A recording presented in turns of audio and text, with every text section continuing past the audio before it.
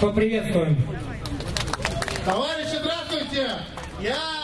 Меня зовут Антон, я из организации «Марксистская тенденция». Мы активно работаем в компании «Петербург» против повышения пенсионного возраста. С вами мы видимся...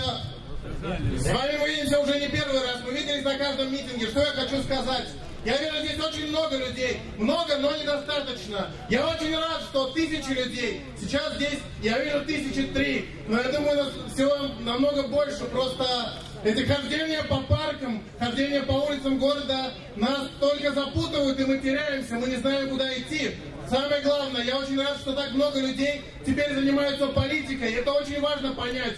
Каждый раз мы собираемся и говорим, это не политика, это просто э, музей. Когда они отбирали у нас Исаки, а хотели отобрать у нас Исаки и сделать его очередной лавочкой для РПЦ, мы говорили, это не политика, это просто музей. Когда у нас отбирают пенсии, люди говорят, это тоже не политика, это просто пенсии. Нам нужно понять, мы делаем политику, мы должны участвовать в политике, мы должны вступать в политические партии и думать политически. Только тогда мы сможем защищать свои интересы. Вот говорят, на Западе выше уровень жизни, на Западе люди лучше живут, живут в Европе. Почему? На Западе что, добрые капиталисты, хорошие чиновники? Нет, там просто очень злые рабочие. Западные рабочие, когда их права ущемляют, вступают в профсоюз.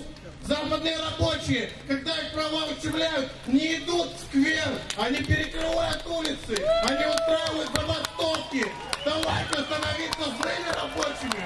Сколько можно это терпеть?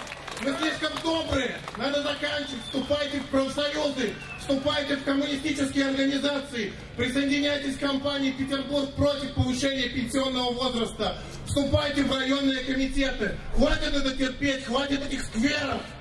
Спасибо, товарищи. Ура!